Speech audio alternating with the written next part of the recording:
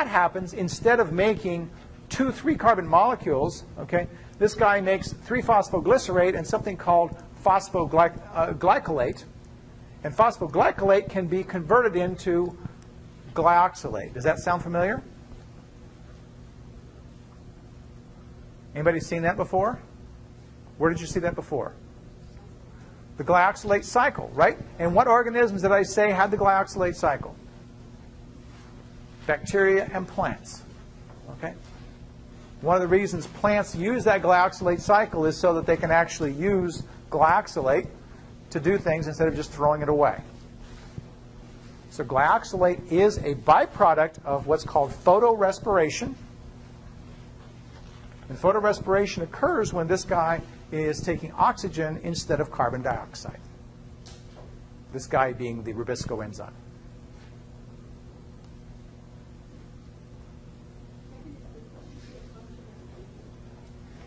Is the efficiency a function of the wavelength? No, because the efficiency is, is, an, is, simply a reaction being catalyzed. The reaction being catalyzed has nothing to do with the light. Um, the efficiency, no. The efficiency is not the pro that's not the problem with the efficiency. The efficiency problem really, really rides right here. The capture of the light energy by the uh, chlorophyll is pretty complete. That's pretty good. Yeah. The, the absorption is, is quite efficient. In fact, that's why I say probably solar cells themselves could do a pretty good job of, uh, of, making, of working better if they were as efficient at capturing the light as uh, chlorophyll itself is. Okay, well, you guys, let's see. We have one last thing to talk about, and the last thing to talk about here is what's called the C4 pathway.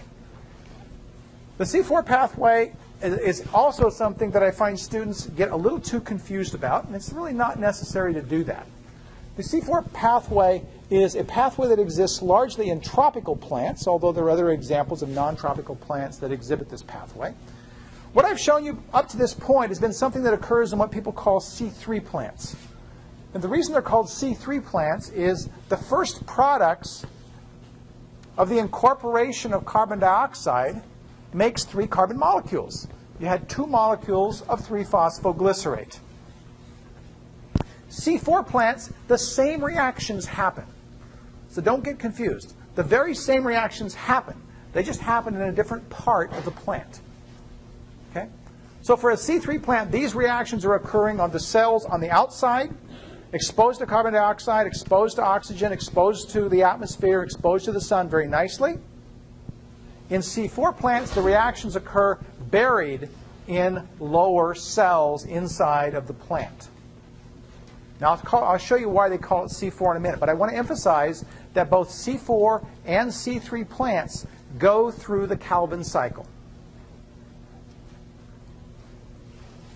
Okay? They both go through the Calvin cycle. The question is, where in the plant does it occur?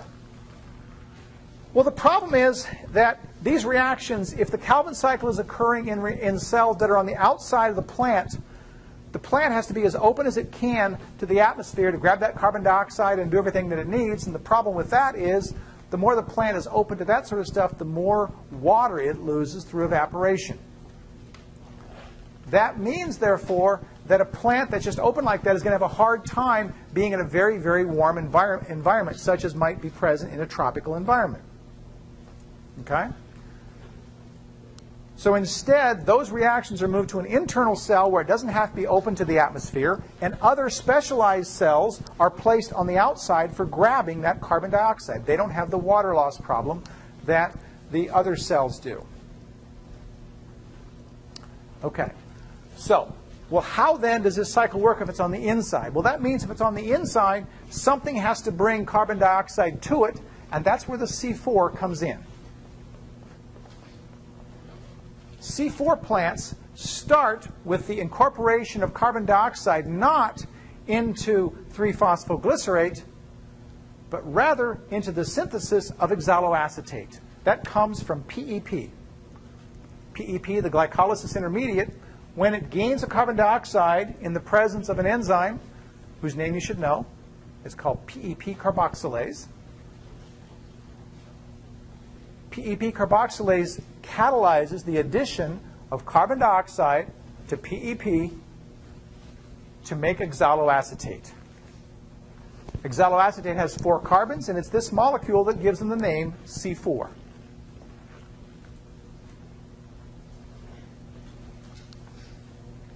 Yes? Sure.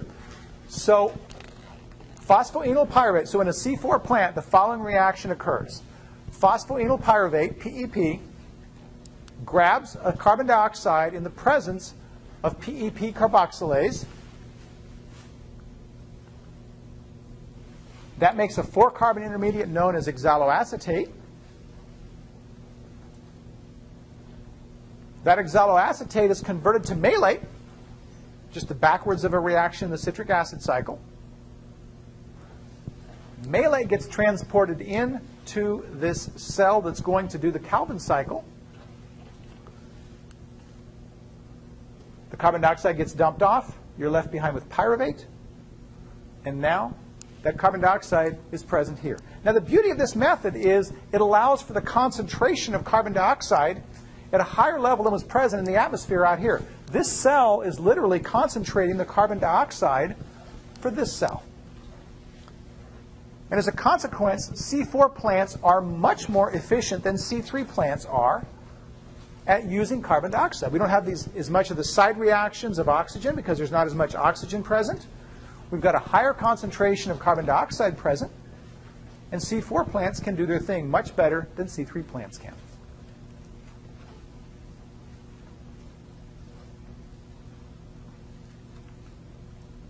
Okay, that's a lot of stuff, I know.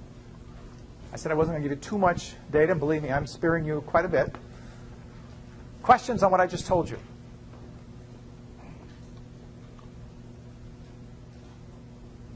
How about a song? No? Okay. Oh, a song. Okay. I didn't hear any response. I don't know. I mean, maybe you guys don't like them. All right. A song. This is a song I wrote for this class uh, a year ago. It's called Photosynthesis is Divine. It's to the tune of Scarborough Fair. Photosynthesis is divine, fixing carbon using sunshine. It's thanks to plants that we've got a prayer. They pull CO2 from the air reaping energy from the sun. It's efficient, second to none. You grab the photons almost at will. Protoporphyrin chlorophyll. Light reactions of system 2 split up water making O2.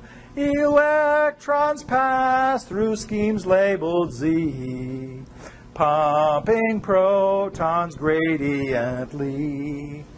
ATPs made due to a shift of the proton spinning quite swift.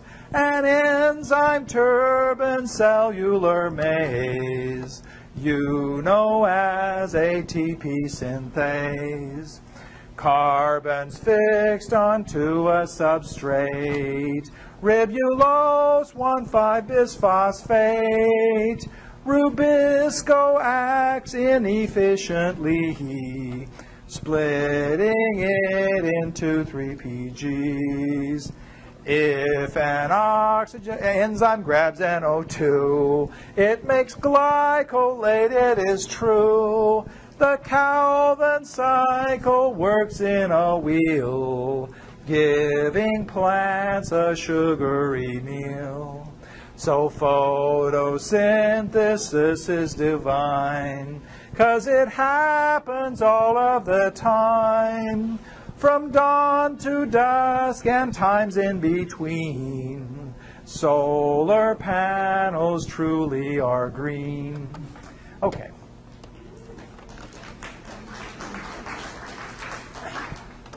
It's an old Simon and Garfunkel song. Okay, so much for photosynthesis. Bye bye. Is that what I heard? okay, let's turn our attention now to nitrogen metabolism in the last 10 minutes that we've got today. nitrogen metabolism is something that's been sort of overlaying all the things that we've been talking about so far, but you probably didn't think about it. Amino acids are full of nitrogen. And the movement of nitrogen in the atmosphere and in, our bodies is interesting and it's complicated. No surprise at that, I suppose.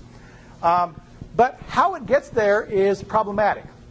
We are incredibly dependent, okay, upon the um, action of microorganisms in the soil that are able to convert nitrogen in the atmosphere into a reduced form that we can use. Without these microorganisms doing this, life on Earth would pretty much go away. Okay? So if you want to think about things where we talk about, think about polluting the soil or polluting the water or um, causing problems, and we think about large organisms on the face of the earth, and we're killing off cheetahs or we're killing off um, various fish or whatever. If you want to get scared about something, get scared about killing off the microorganisms that fix the nitrogen. Because without that, we're going to be in deep doo-doo. Okay? So what I'm trying to impress on you is that the incorporation of nitrogen from the atmosphere is important, and it's very, very difficult to do, as we shall see. Okay, so we're very, very dependent upon these organisms. Nitrogen in the uh, uh, biosphere has a cycle as such. As I said, it's pulled from the atmosphere uh, by nitrifying organisms in the soil, and that allows that nitrogen to be used ultimately to make amino acids. And those amino acids, of course, are what make up proteins and allow life uh, as we know it. So what I want to do is spend a couple minutes talking about how that uh, nitrogen is actually grabbed by these organisms. Okay. This depicts um, schematically what happens during the um, reduction of nitrogen to um, some useful uh, process. Nitrogen in the atmosphere looks like this guy right here. It has 10 electrons. In the process, it's got to gain six electrons to get reduced so that it can form two ammonias that look like this guy right here. Okay? That process requires a total of six electrons, but more importantly, it actually requires 16 ATPs per nitrogen molecule reduced. Okay? 16 ATPs per nitrogen molecule reduced. A very intensive process in terms of energy. It's catalyzed by an enzyme known as nitrogenase, N-I-T-R-O-G-E-N-A-S-E. Nitrogen-fixing bacteria have this enzyme, and they've got various sub-enzymes that are in there that do this. The important thing is that nitrogenase is very, very much killed by oxygen. It's a very anaerobic requiring environment in which this must occur.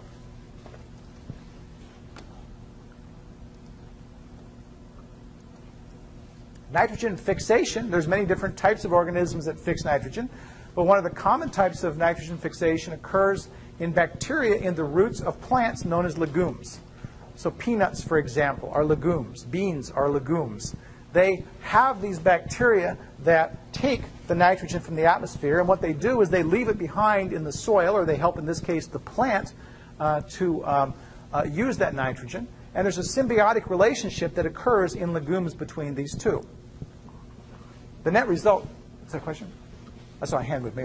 I thought I saw a question. Okay. The net result is that nitrogen from the atmosphere is being useful to plants, and of course, plants are eaten by animals to do other things. Glutamine turns out to be a very important amino acid in the scheme of things because glutamine participates in nitrogen transfer.